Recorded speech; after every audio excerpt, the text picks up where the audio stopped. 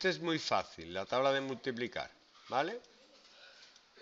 Del número que yo le meto. Tabla de multiplicar.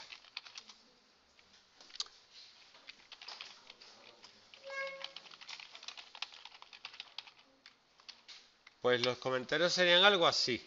Pongo una almohadilla y digo,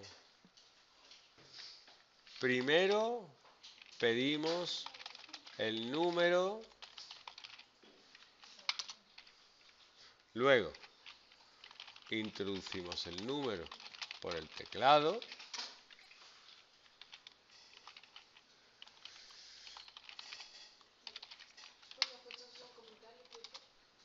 para explicarlo.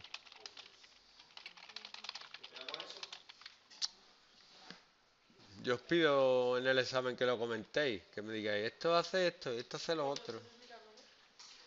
¿Eh? Claro. Sí, podéis explicar algo. Es que los programadores escribimos cosas y un mes después no nos acordamos de por qué escribimos algo. Los comentarios son para ti y para el que venga a modificar tu código una ayuda, ¿vale? De hecho, este verano vais a abrir esto y no os vais a acordar de nada. Y ahora, ¿qué? Introduciremos el número. Es que se me, la boca se me un poco. Y ahora, desde 1 hasta 10, aunque ponga 11, siempre se queda en el número anterior.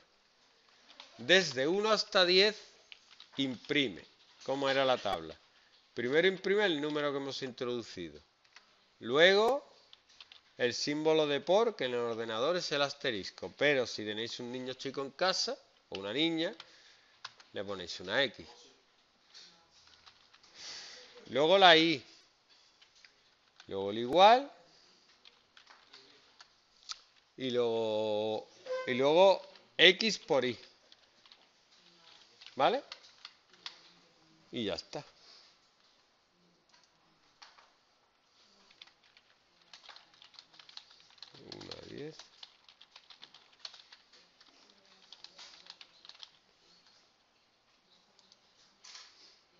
Venga, decimos un número.